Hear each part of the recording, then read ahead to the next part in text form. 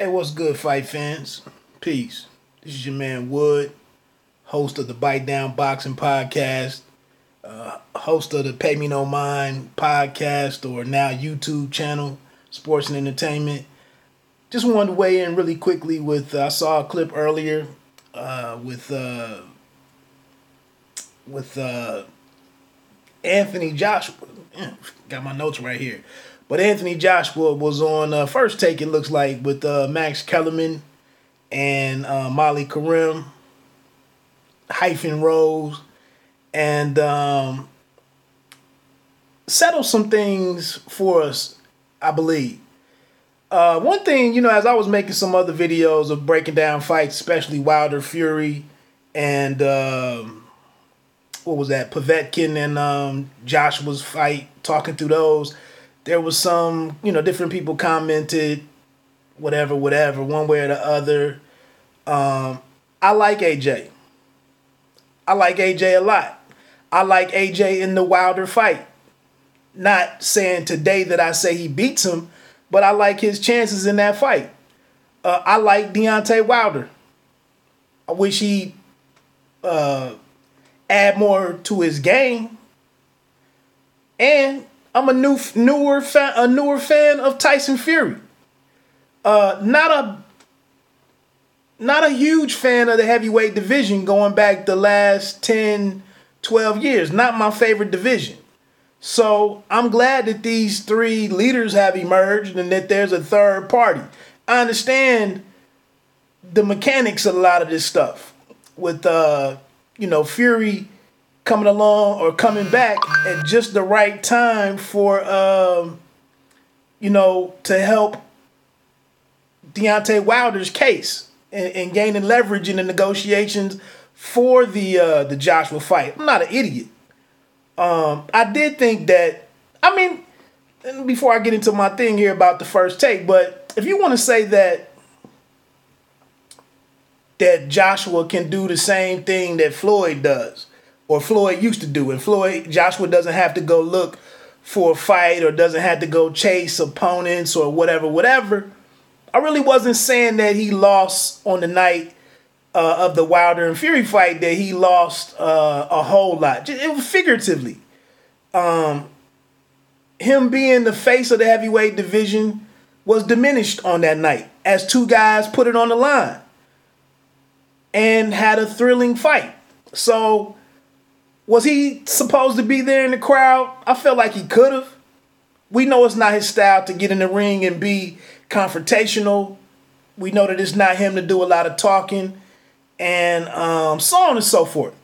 Uh, lastly, before I get into my thoughts on the first take thing, it kills me because it's, I don't know about you and for many, but to sit around and call fighters say that fighters are afraid of one of, of one another just routinely. It's just reckless in my opinion. And it's low hanging fruit in my in my opinion in this situation with Joshua and Wilder. I don't believe that that uh that AJ is afraid of uh a Wilder afraid to face Wilder.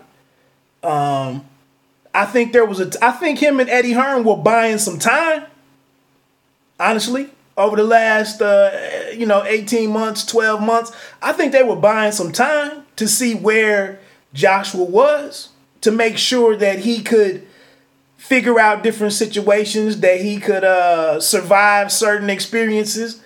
Um, I do think they were buying themselves some time, but I think over the last three or four fights, I think they've seen what they need to see that to think that um, you know, he could face Wilder and weather the storm and and uh, figure some things out. Um, you know, I, I, I, with the exception of the Parker fight, I thought a lot of the needle was trending completely in the right direction for uh, for Joshua. So, like I said, for me, when I tune in, when I check out some of these podcasts and, and, and some of the, the other guys doing their thing, and that's the the the the uh, the messaging that you want to run with for this. I really don't know how to respond to that. Like, I, I like I said, it's easy, it's not difficult to do. But I've been on some of the conference calls with Joshua, and he's explained some different things in depth about his thoughts on his fight, and it's it's not a matter. to me, it was never a matter of fear. And then he does hold a lot of the cards. He, you know, his his his, his uh, you know, his ticket sales, uh, the belts, the number of belts he holds. I can't argue that the guy should just do whatever uh, some people say he should do to make the the wild the, the fight with Wilder. I don't agree with that. I mean, I just don't. But let's get into it, man. He said it. Point one. He said it today. Now he did look away from the camera. If you want to be, if you want to pick through the details, he did look away from the camera after he said, "I want to tell everybody right here." And then when he got to talking about Wilder, he started looking back at uh back at Max Max Kellerman. If you want to run in that direction, but like you said, I think he wants to fight. I felt like in watching him walk out to the, uh, and I know some people can say something about his performance against Takam. Okay, I hear you. Uh, I felt like the the comfort and the confidence that I saw with him walking to the ring uh, against Povetkin. I feel like he's a guy that's that's that's very sure of himself right now and, and knows how to uh, how to get into to the to the mood and the mode when it's fight time. So um, you know, it's a lot of responsibility with that fight, with him going into these arenas, 70, 80 something, 85,000 people there. And I think that's, I don't see that being a burden on him any longer as he's going into these situations. So, um, he said it. I mean, what what more does he have to say? Like you said, I don't. He he said, I don't know what more I have to say to let people know this. Um, you know, they did, and he mentioned about you know that, that he went out and booked the date, and uh, you know, he he he was set to go. Now we don't know what the the the, the money talk will be, the splits will be, and, and so on and so forth. But um, I have no problem with him controlling all the other stuff. That's what you do when you're the A side, and he's clearly, in my opinion, he's clearly in charge of this this situation. Him and him him and Eddie Hearn. So anyway, he said it. I think um, moving through the and I also think some stuff I've said on the podcast lately. I've and talking with Eddie Hearn in Chicago, listening to Eddie Hearn, uh, they understand that the fight has cooked. You know, it's ready. It's ready to be served. I think I get the feel that they understand that. Uh, money wise, we'll see what they do with you know if the if the if the hang up continues to be money. I mean, we'll see. Second thing that he said was he's not interested in fighting Tyson Fury. And I just thought it was hilarious. Uh, you know, he said that if when this lineal title popped up out of the woods, and he said uh, when he became a heavyweight or got into the heavyweight, got into boxing professionally, he said all he cared about was the WBA, the WBC, IBF, WBO, and IBO, and said that he had four of them. And uh, it almost reminded me um, you know, the unwritten rules in baseball. Uh, or uh, I know back in 2008, uh, my shirt says here, um, Donovan McNabb had a tie game against the Cincinnati Bengals and didn't show a lot of urgency at the end of that game and then told the reporter, you know, then when it went into overtime and there was no uh, winner and it, it became a tie, uh, you know, a 10 year veteran in Donovan McNabb was like, I, I, didn't even know you could tie a game. Uh, so it's, it's, it's no problem to me if that's the narrative that you want to run with that this lineal title. I mean, to be honest, I'm not the, I'm not the most knowledgeable person on, I, I, am aware of the lineal title. Um, but it, it seems like the significance of it here is more for marketing purposes, for for Fury to have some kind of. Uh, it's like if we're selling late season college football game or early season college football games, and we need these early these first three four weeks of the season. We need these games to be significant. So if we do have a number two against a number six, uh, that's great. Is, is, is something it's a way to get people in the seats. So i think you know the lineal title here we don't hear about it in many other divisions honestly.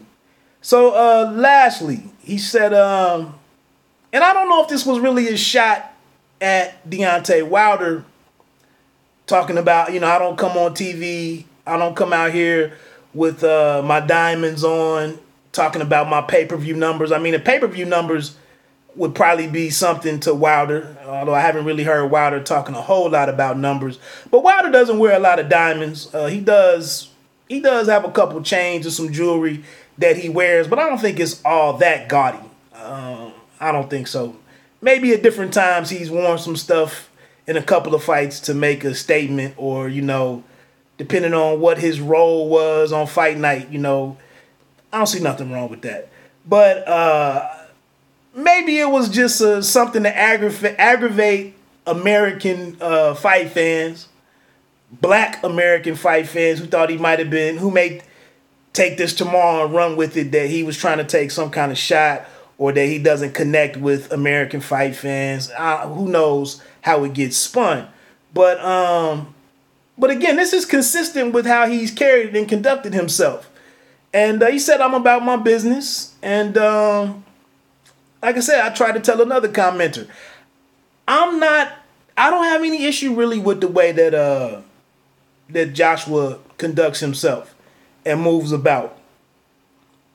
I really uh I really like a lot about Joshua and and and everybody doesn't need to be uh as aggressive as uh the Charlos, you know, with Jermell confronting uh Jarrett Hurd in the ring you know, a couple weeks ago at the Wilder Fury fight.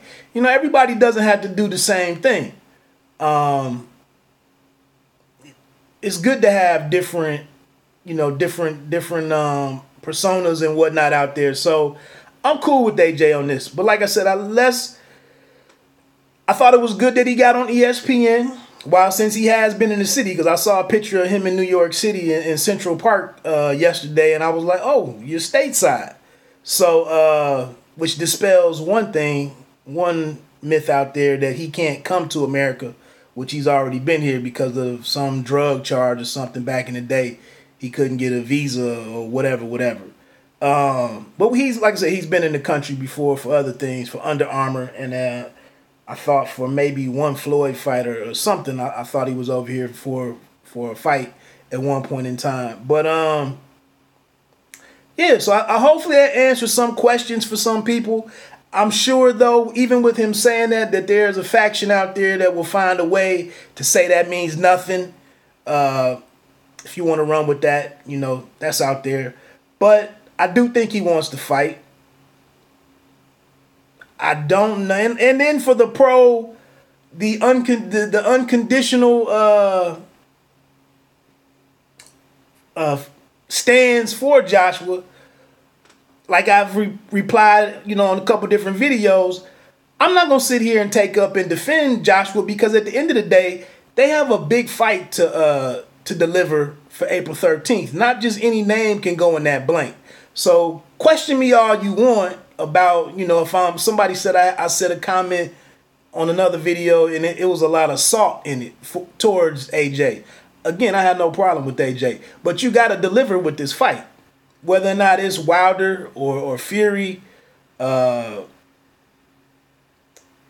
I'm not watching, or I have no concerns about Joshua Chisora or Joshua Whyte. I really don't, or Usyk, if that was even a possibility.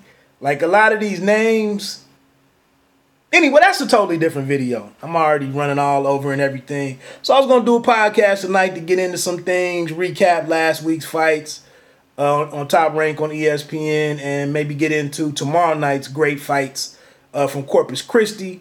I may do the po- I may do the podcast after this. I got to get something to eat, but um, hey, we move a step ahead. You know, I can't say a step closer but uh, please subscribe to the channel. Leave some comments if you want to chop it up. Although, like I said, I don't, we didn't really solve anything to say uh, today, but it was good to see uh, AJ speaking um, rather uh, candidly and free freely, and uh, we'll see how uh, we'll see what happens tomorrow. Hey, I'm out. Peace.